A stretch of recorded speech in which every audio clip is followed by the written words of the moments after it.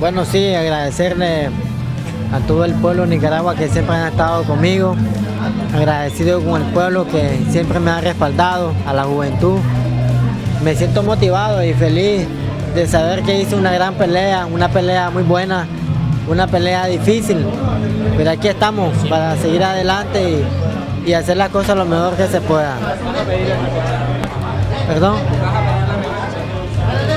Si a mí me dan la revancha, yo, por supuesto yo peleo, pero aquí el que manda la gente que me, me está manejando, vamos a ver qué pasa, vamos a ver qué es lo que viene.